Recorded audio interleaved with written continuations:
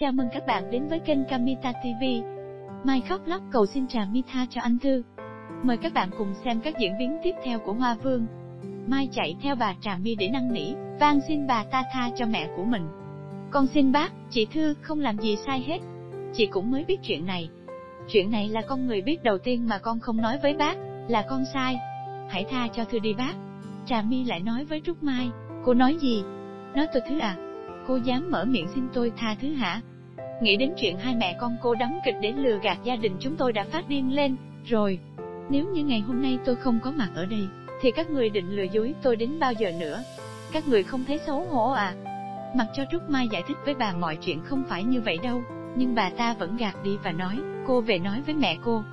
Cho dù cô ta có bất chấp mọi thủ đoạn để có được như ngày hôm nay, thì mọi chuyện cũng sẽ kết thúc ở đây. Nói với cô ta chịu sự trừng phạt đi. Trúc Mai nắm lấy tay của bà mà van xin, nhưng bà ta đẩy cho Trúc Mai té xuống sàn nhà rồi vào thang máy. Trong lúc Trúc Mai khóc lóc đứng ở cửa thang không biết phải làm sao, thì Khoa cũng tới nơi. Mai chạy thẳng lại chỗ Khoa mà hỏi, em phải làm sao bây giờ? Mẹ của anh biết chuyện em với chị Thư rồi. Chúng ta phải làm gì đây? Khoa ôm lấy Mai rồi nói, đi vào xem chị Thư xem sao. Nhìn thấy Mai, anh Thư hỏi, bà ấy đi rồi phải không? Cô ta vừa khóc vừa nói với con gái, giờ thì cô đã biết được lý do tại sao tôi không thể nhận cô là con gái rồi đúng không? Hình như vận may của tôi đã hết rồi. Cuối cùng vẫn bị quá khứ níu kéo mà không đi tiếp được. Trúc Mai xin lỗi Thư, lại nói, cô không cần phải xin lỗi bởi vì cô không làm gì sai hết. Gieo gió thì ắt gặp bão thôi. Nhưng tại sao tôi vẫn có cảm giác chua xót vừa đắng cay? Bất công thế này, tôi đã phải đấu tranh cực khổ cả đời, không dễ dàng được như ngày hôm nay. Vậy mà trong phút chốc, mọi thứ đã tan tành cả rồi. Trúc Mai hỏi, mình phải làm gì đây? Chị Anh Thư nói, tôi phải trả giá cho lỗi lầm của mình thôi. Bí mật cuộc đời đã bị phơi bày. Biết thân biết phận, nhận lỗi thôi. Tốt nhất là nên tự mình rút lui trước khi bị người ta kéo xuống. Rồi anh Thư lấy điện thoại gọi cho chồng. Cô định thú nhận mọi tội lỗi với chồng. Thì Khoa giật lấy điện thoại của anh Thư, chị định nói sự thật với anh hai à. Anh Thư vừa khóc vừa nói với Khoa, hết cách rồi em. Mẹ em đã biết tất cả mọi chuyện. Thì nhất định sẽ không bao giờ bỏ qua cho chị đâu.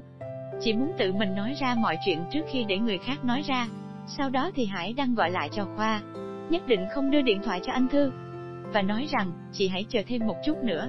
Em sẽ tìm cách thuyết phục mẹ. Anh Thư nói với không bao giờ chấp nhận đâu. Khoa nói, chị không được bỏ cuộc. Chị phải bảo vệ hạnh phúc của mình với anh hai. Mà em và Trúc Mai đã phải chấp nhận chia tay.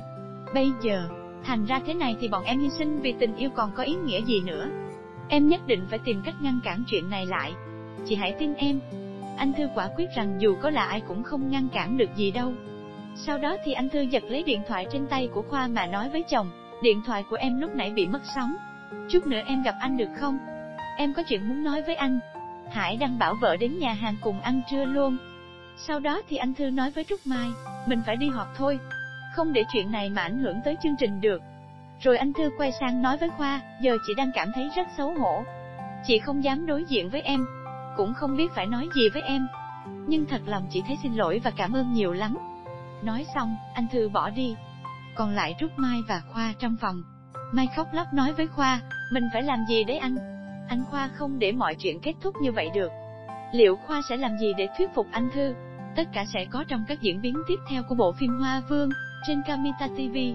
Nếu thấy hay xin hãy cho kênh một like và một đăng ký để ủng hộ nha. Giờ thì xin chào và hẹn gặp lại.